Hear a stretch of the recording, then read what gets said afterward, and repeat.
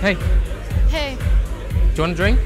Um, yeah, sure, thanks. Can I get a pint of Foster's and a Uh, white wine, please. white wine, please?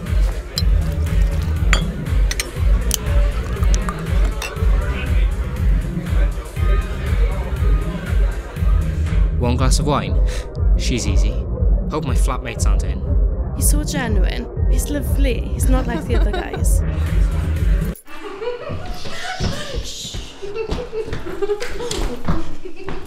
Hammersmith Apollo is a second home. Can I just say that? Well, folks, we have one more fantastic act to close up the show. Are you ready for that?